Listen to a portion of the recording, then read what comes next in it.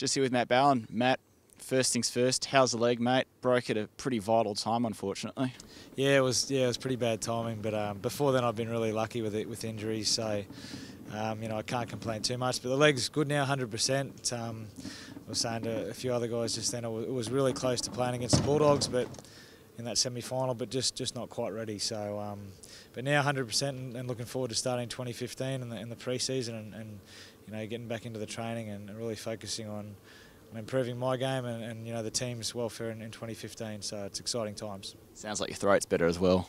Yeah, the, th the throat has improved a lot. Yeah, that was another injury in in 2014 that um, it was a weird one, but. Um, but yeah, I'm really pleased to have my voice back now, and, and it makes you appreciate what you've got um, when you lose your voice. So yeah, it was it rattled me for a while, but now it's good. So.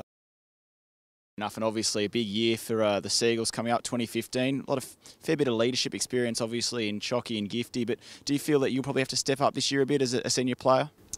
Yeah, probably. I think not just myself. There'll be you know a lot of players that, that have had one more year experience in 20, 2014 and and can add some more to the club. So you know. We, in and, and, and Feleti Mateo from the Warriors. So all those guys are going to bring experience and, and some different knowledges or some different points of view about rugby league that, that we can feed off. So I think it's everyone's responsibility and, and you know I'll be I'll be looking to do that as well and and uh, you know keep improving my game and, and the team's uh, overall performance hopefully.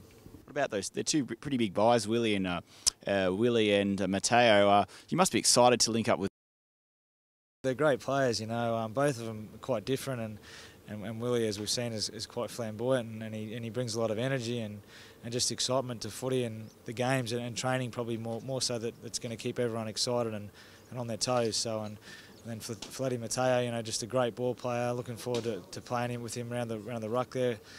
I'm in a hooker and, and you know just getting to some of his offloads and, and looking to promote some second phase play off him. So um, I think it's going to be great for the club to have these two new guys and you know, it's, it's, only good to have some more young guys coming through as well in, in the juniors so with Jake Trbojevic and, and some other young guys like Huey that's here today. So very exciting times. It must be good to have someone like Willie in the middle. I mean, a lot of the time, Willie touched on the middle, had a bit of problems last year. You were often doing 40 tackles a game. Must be good to have someone like that having tighten up, helping you tighten it up. Yeah, well, they won't be running at him. They'll be running at me now that he's a big bloke. So, um, no, but it is good, you know, having some big bodies around the middle of the field and and you know, as you said, it was probably a little bit of an issue for us last year. Um, and hopefully we can we can improve that this year and, and you know be really strong in the middle and, and, which we've been known for in the past. So um, you know it's great to have him here and, and you know looking forward to, the, to training with him and over the next few weeks. A bit about Jake Trbojevic. There's been a lot of stuff for the last couple of years, but obviously made his debut in I think it was 2013 and last year ruined by injury. How exciting to, would it be to potentially have him back in the side regularly?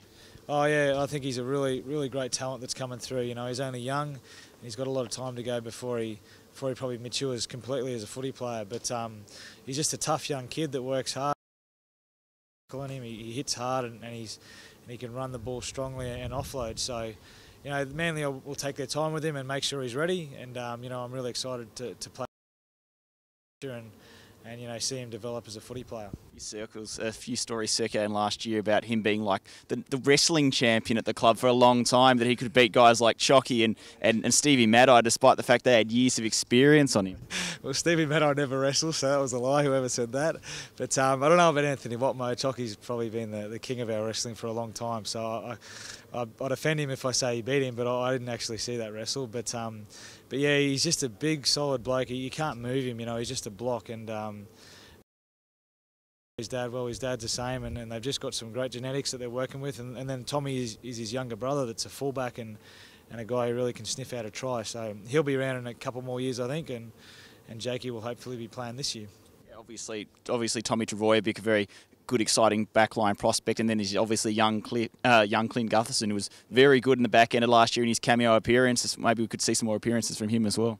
Yeah, I, definitely think Guth will be in the team, you know, a lot more frequently this year. And um, you know, like you said, he showed some great, great abilities to score tries and break the line. I can remember one uh, kick return he did against the West Tigers last year. He set up a try for Brett Stewart, just broke straight through the line and and you know set it up. So he's got a great future. He's only a, only a young kid again, and, and you know he's not fully mature as well. He's he's got a lot of growing to do and a lot of bulking up to do, and, and you know I can only can only see better things ahead for Clint. Tell me about young Huey, who was there at the press conference with us today. Yep. Yeah, he was a young hooker, and uh, he's been at the club for a year, I think, and, and, just a great young, promising, promising hooker. And he's played a lot of the 20s last year. Very good out of dummy half, nice and fast, and got a good pass on him. So, you know, he'll be he'll, him and, and Jaden Hodges will be will be training with myself this year.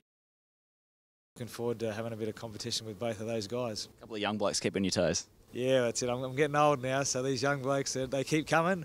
But, um, but you know, I've really enjoyed the time with, with all the young guys and, and the and the senior guys at the club. So uh, I think we've got a great mix and looking forward to the year.